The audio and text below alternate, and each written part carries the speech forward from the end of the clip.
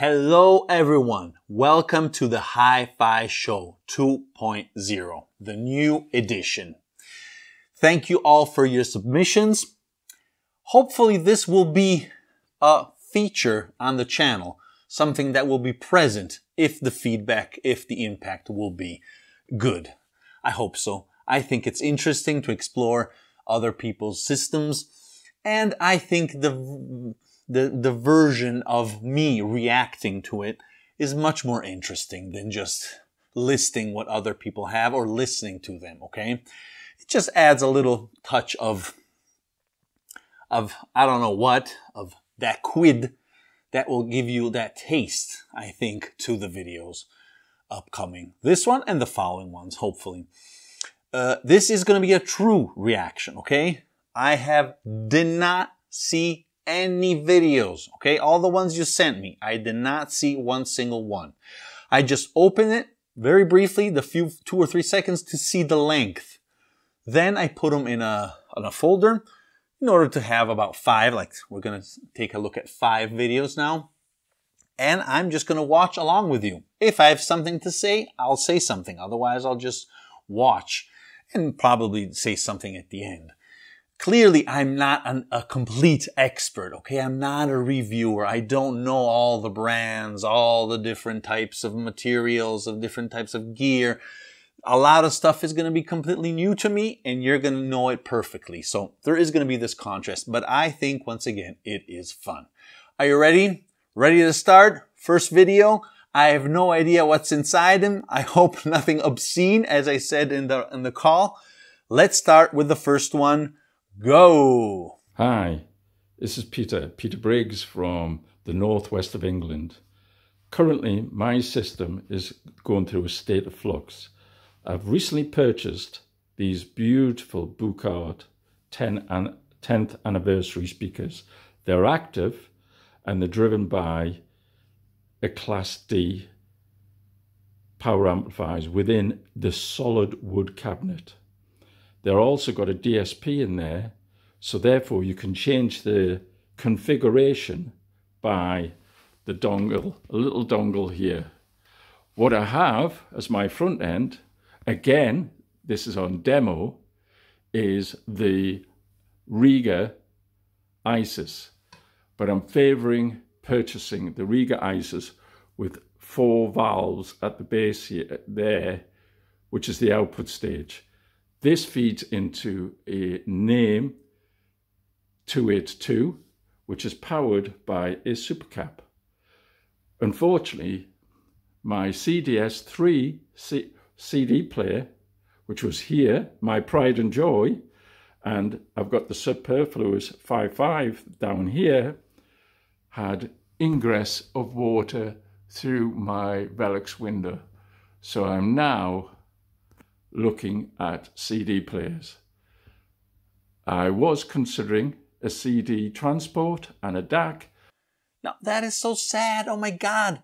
If I understand correctly, he had water coming from the, from the windows up above. Oh my God. A nightmare for any hi-fi geek. Be careful where you position your stuff, guys. Cats, dogs, kids, and I guess even windows. But I'm favoring this model because it's built like a tank and it's got a Philips Pro CD mechanism, really good mechanism in there. And there is extended life because Rega take two mechanisms and store them within the manufacturing for every unit sold. So there is a service backup. As a system, it's beautiful. And there's a lack of cables now because these are connected by a WiSA link, which the 282 goes to, which I might be considering doing an upgrade on this particular product here, again from Buchardt. I can't say enough about these Buchardts. They've got a fantastic bass response, really large presentation, depth, wide, it's just a beautiful sounding speaker. For the size, it's like listening to a floor standing speaker, which I had previously. Anyhow, this is the end of my uh, brief presentation And you never know, you might see a completely different system within a couple of months. Take care and enjoy the rest of the show. Perfect. Thank you so much. Peter, right? I think it was Peter. Thank you so much. Wow. I'm very envious because when you guys have these nice, nice, neat, little, small, uh, perfectly calibrated systems, I love that. Mine is a mess. It's completely crammed with stuff, with cables, stuff coming in, coming out, clearly. But very, very nice. Uh, I like it a lot, I must admit, especially the, the Rega Isis. Wow, that really looks like an excellent player. Uh, I would love to try it as a transport, actually. And um, what else? If I understand the, the, the speakers, the, the view cards, which I, which we are all hearing a lot, talking a lot about them, they are active. So on on that rig, do you have an amplifier by Naim? Is that an amplifier, or is just just just the mm, the power supply to the preamp? Maybe maybe that's the configuration. I don't know. I'm not a big fan of DSPs. Uh, active loudspeakers mm, could be. Why not? If if I mean, the synergy clearly is uh, the best of the best why not? I mean, sometimes you can achieve amazing results. DSP with, for example, as you remember, I tried with my Triton Gold uh, reference. Uh, I don't know. I, I do sense there is a little bit of sophistication of not complete, complete naturalness, but every case clearly is on itself. Okay, let's proceed with our second video.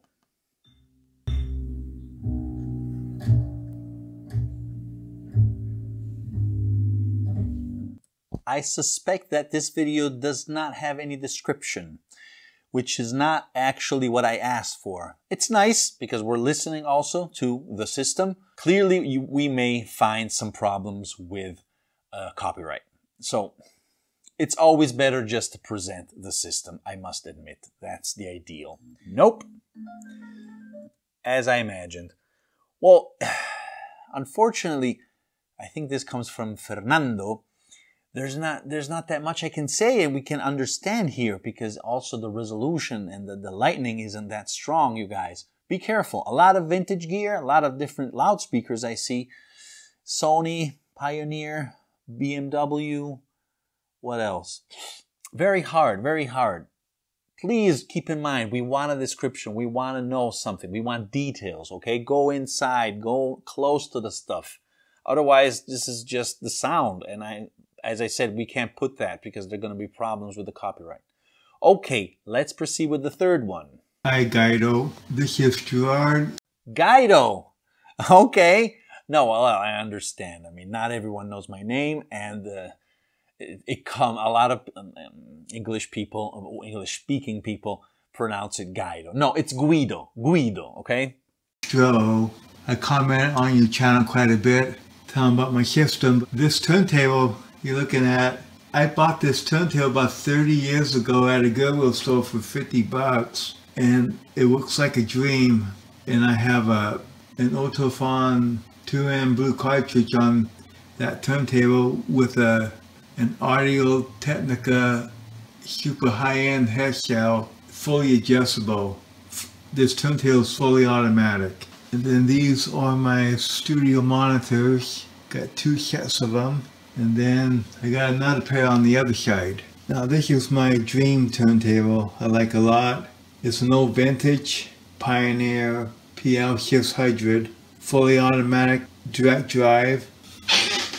And this is my Audio Technica AT33SA moving coil cartridge with the same type of head shell that was on the JVC and down below and underneath there you, I have a Pro-Ject XLR uh, moving coil phono stage that set me back a few dollars. It sounds like a dream. It's fully XLR hookup from the inputs and outputs or RCA. I really don't have a stereo system. Mine is more like a PA system. And I have two of these Pioneer PL200s direct drive turntable that I modified for 78 playback. That cartridge is a 1949 GE VR2 moving magnet cartridge and it sounds great. Then back here I have another 78 turntable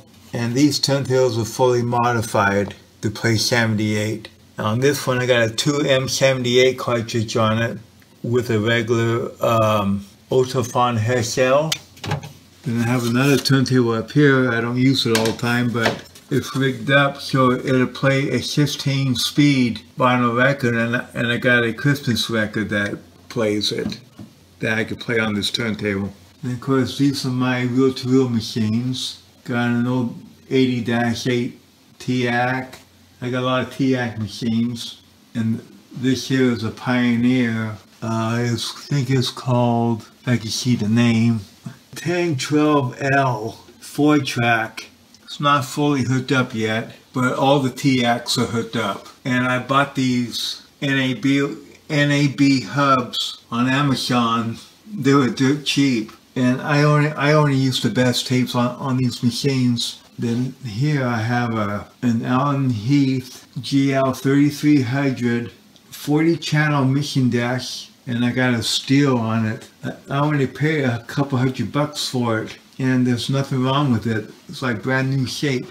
And it's tell you what, it's very quiet. There's all my mic pre's that I use. And my system also has three uh, XLR patch bays that I made myself. Strictly all studio gear. There's the other stack. Here's my 21 inch subwoofer. I got six subwoofers in the front room. I got an 18 and a 21 inch subwoofer and these are my power amps down here for the subwoofer. Got them both bridge. I used two PA2 drive rack. The straight that you see here, this is my 1967 Ampex AG440. It beats the sound of vinyl records, I, I ain't kidding. Four track heads on there came out of a recording studio.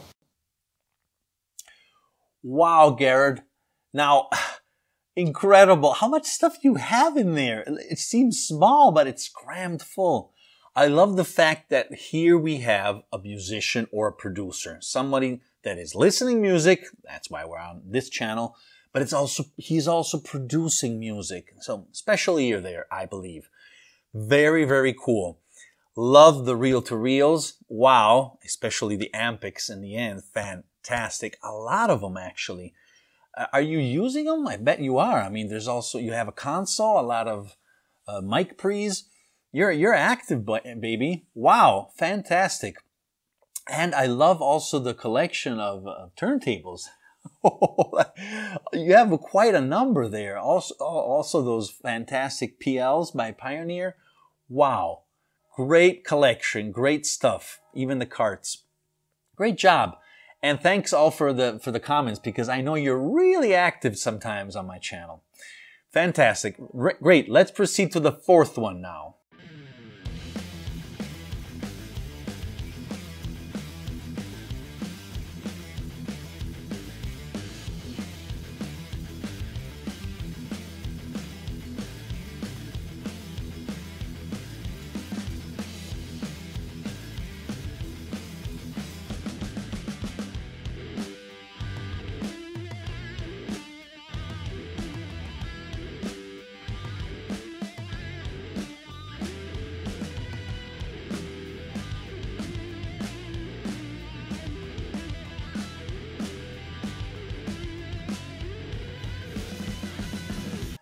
You guys, you have to describe, you have to speak, otherwise it's boring for people. It's not that self-explanatory. Some, yes, but not everything. At least you got close to the, to the stuff.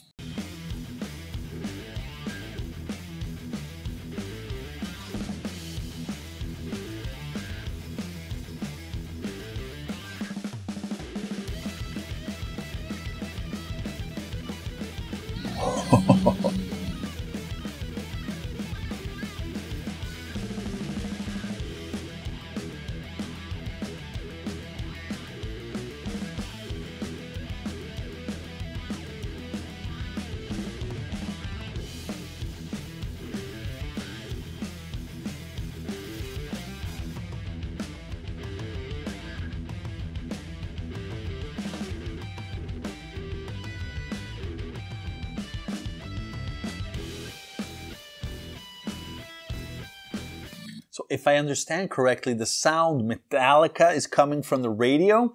You, you, you routed the signal there. Is that correct? I don't know. It gives me that impression from the video. You have to talk, you guys.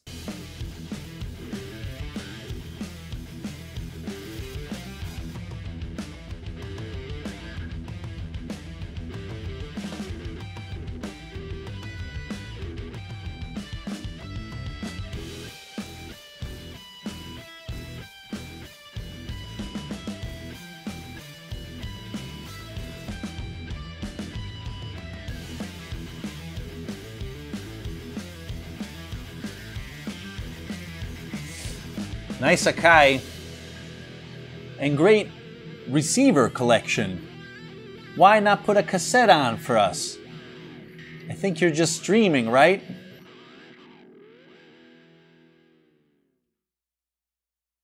Well, nice man cave. I like that you have two systems, one in the kitchen, very close actually.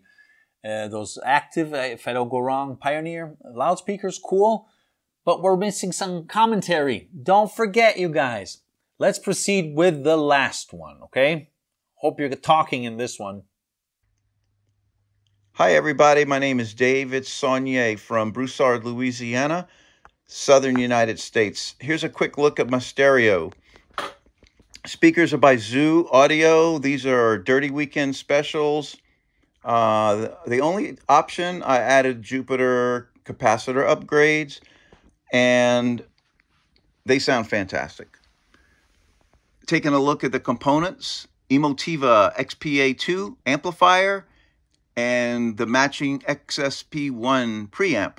These are fantastic, very natural sounding. I love them. CD100 by Emotiva. This was a BasX or a Basics model. Got it in a scratch and dent sale for pretty cheap. I don't play a lot of CDs, but I do play CDs once in a while.